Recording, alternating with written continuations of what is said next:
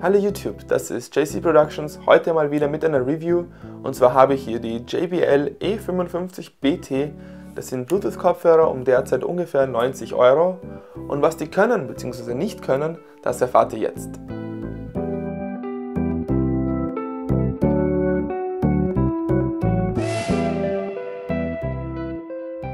Der JBL E55 BT ist zurzeit einer der beliebtesten Bluetooth-Kopfhörer auf Amazon und mit seinem Preis von 90 Euro auch eher im Mittelfeld angesiedelt. Es gibt zwar auch viel günstigere Bluetooth-Kopfhörer, aber auch viel teurere. Der Link zu den Kopfhörern ist natürlich wie immer in der Videobeschreibung. Der Kopfhörer ist erhältlich in den Farben Rot, Weiß, Schwarz und Blau.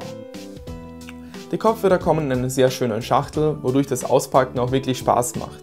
Im Lieferumfang erhalten sind die Kopfhörer selber, ein Kabel für Kabelbetrieb, ein Ladekabel und auch ein paar Anleitungen.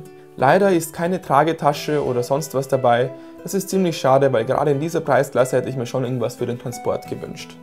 Die Kopfhörer können auch ganz normal mit einem Kabel benutzt werden. Wenn man sie aber per Bluetooth benutzt, dann hat man auch ein paar Funktionen direkt am Kopfhörer. Und zwar gibt es hier ein paar Knöpfe, einen zum lauter machen, einer zum leiser machen und einer für Play Pause bzw. Anrufe annehmen. Die Knöpfe sind eigentlich relativ gut ertastbar und auch relativ gut klickbar. Es gibt auch einen weiteren Knopf zum Aufbauen von Bluetooth-Verbindungen. Beim Einschalten macht der Kopfhörer ein relativ interessantes Geräusch. Es klingt wie wenn man ein Auto startet. Und es gibt auch ein paar andere Geräusche, die dann anzeigen, dass eine Verbindung aufgebaut wurde.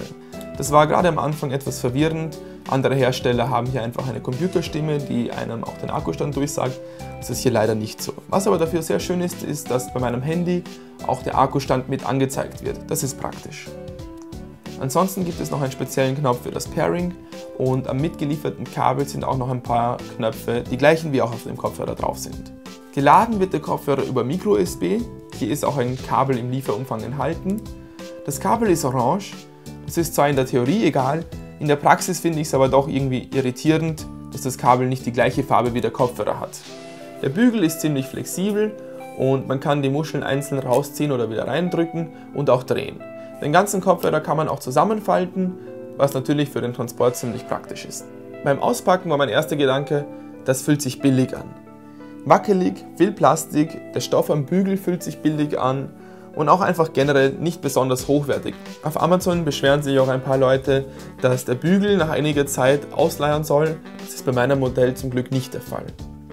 Die Soundqualität ist aber was ganz anderes. Die ist nämlich wirklich überraschend gut. Es gibt hier keine aggressiven Höhen, der Kopfhörer ist relativ schön ausbalanciert und auch die Bässe sind nicht dumpf oder nicht zu laut. Es ist natürlich kein Studio-Kopfhörer, er ist nicht komplett linear, aber ich finde für die meisten Musikrichtungen ist er ziemlich angenehm. Die Akkulaufzeit hat mich eigentlich am meisten überrascht. Der Kopfhörer hält locker 10-15 Stunden mit einer Ladung durch. Das hat mir ziemlich imponiert. Nach dem Einschalten ist ziemlich schnell eine Verbindung hergestellt und man kann den Kopfhörer auch mit mehreren Geräten verbinden. Allerdings hat das bei mir nicht ganz so gut funktioniert. Die Verbindung steht zwar, aber es kommt immer wieder zu Knackser und Abbrüchen, wenn ich mehrere Geräte an den Kopfhörern verbunden habe. Außerdem scheint es leichte Probleme mit meinem MacBook zu geben, weil hier hat sich die Verbindung generell immer wieder unterbrochen und ich habe immer wieder ein leichtes Rauschen oder Knacken gehört. Mit allen anderen Geräten, also zum Beispiel Tablet oder Handy, hat das aber einwandfrei funktioniert auch über größere Distanzen weg. Der Tragekomfort ist natürlich etwas sehr Subjektives. Ich finde die Kopfhörer aber sehr angenehm. Er sitzt bei mir ziemlich gut und wird auch nach längerer Zeit nicht unbequem. Was mich hier am meisten überrascht hat, ist die Abschirmung. Es ist zwar kein aktiver Noise-Canceling-Kopfhörer, aber trotzdem kommen von außen sehr, sehr wenige Geräusche rein, gerade wenn man Musik hört.